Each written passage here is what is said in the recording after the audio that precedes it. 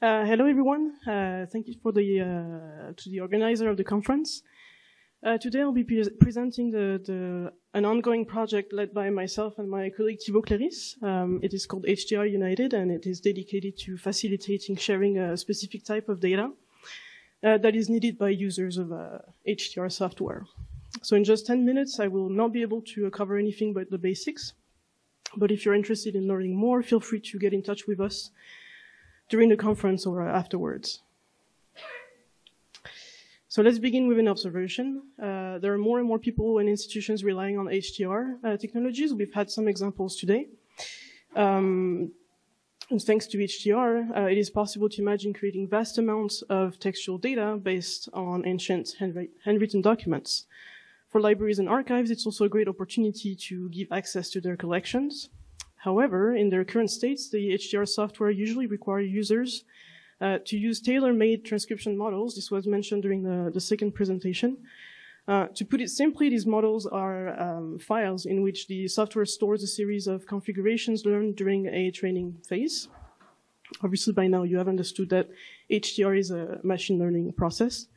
Um, these models are adapted to various specific handwritings, uh, but unfortunately, training these models first required providing uh, software with examples um, of these handwritings along with the transcription that you expect.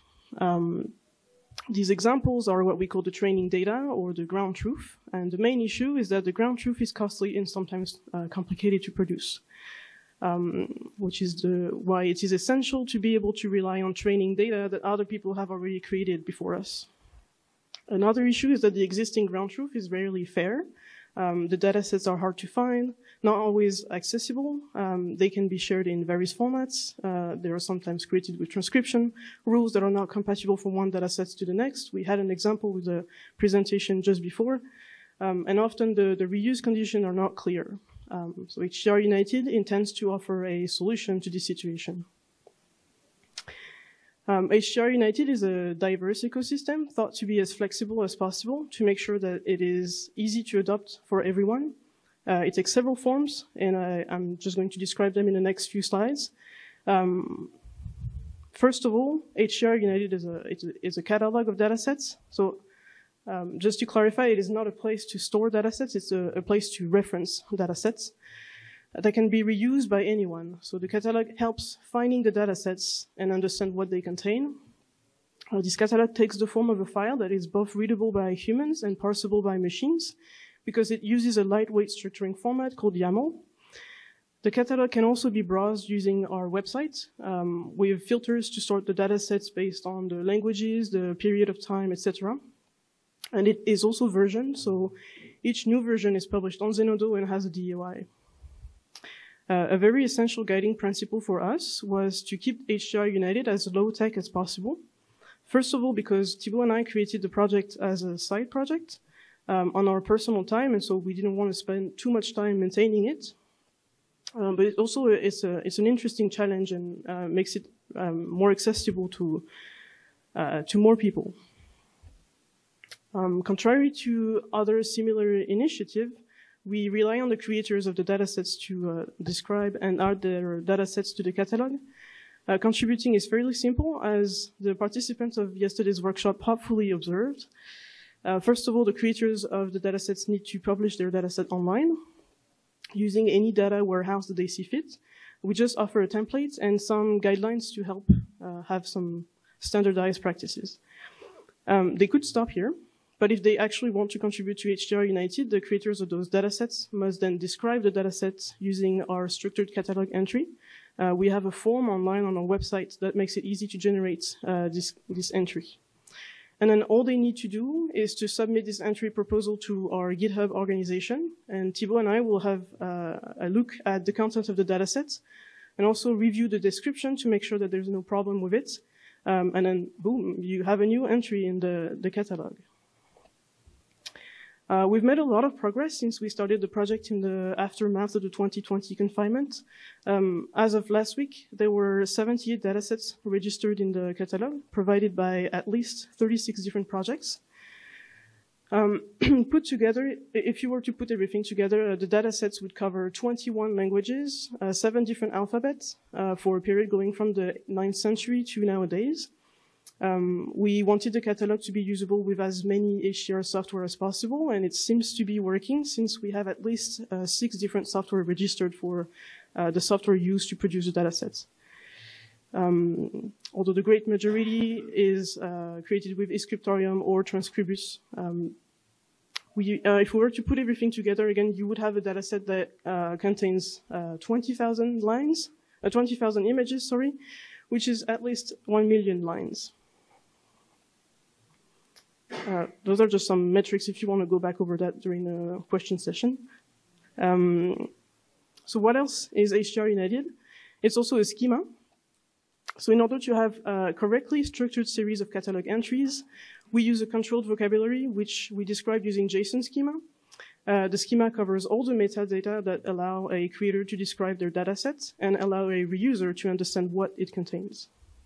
So for example, that covers the language used, the script, the period, but also the character sets in the dataset, um, the title or the name of the, the dataset, a link to access it, some license, um, sorry, some metrics like the numbers of, of pages or lines, uh, or very important, the license that is applicable to the datasets.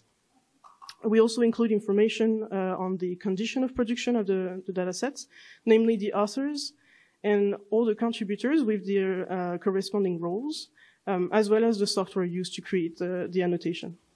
Our long-term goal is to also build a control vocabulary for uh, the transcription guidelines so that people could easily filter out the datasets that are compatible with each other or, on the contrary, not compatible. A very important aspect of the schema is that its evolution is transparent and documented.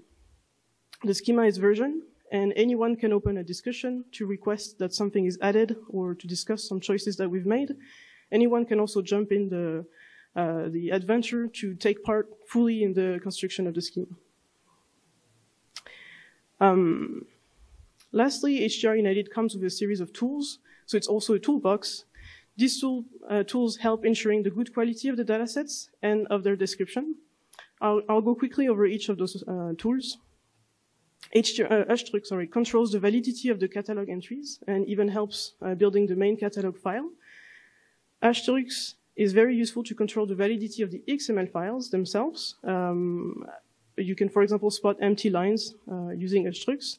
Hum generator computes metrics such as the number of files, regions, lines, characters, etc. Basically anything that you probably don't want to count by hand. Um, ChocoMufin, which, is, uh, which was created by Thibault and Ariane Pinche, creates a table of all the characters used uh, in a dataset. Uh, so for example, you would be able to um, transform the euro symbols into something else if this doesn't fit your transcription rules uh, for your dataset. And all of these tools can be applied using GitHub Action, but I do not have the time to go uh, over this uh, today. So why is it important to contribute to HTR United when you create training data?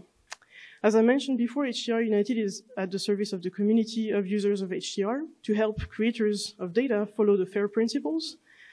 It is also a way for us to call for the recognition of ground truth datasets as a scientific outcomes, which should be valorized like other scientific outcomes. For the community, a catalog like HTR United helps creating transcription models faster and more generic models which cover more languages and more diverse handwritings. This is very important and this is something that we will talk about tomorrow during a long paper session.